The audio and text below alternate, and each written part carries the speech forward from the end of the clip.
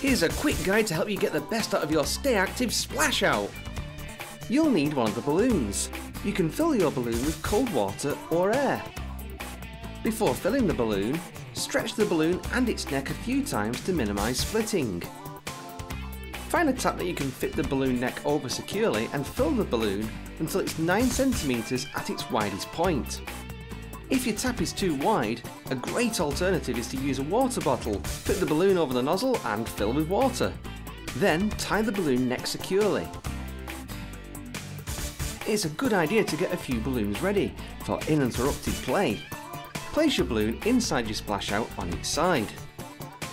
Lock the two halves by turning the upper half anti-clockwise to line up the dots. When it's clicked into place, you're ready to set the time and play. Twist the timer gently anti-clockwise. Be careful not to overwind, you'll feel resistance when you've turned it to its max. Now you can start playing.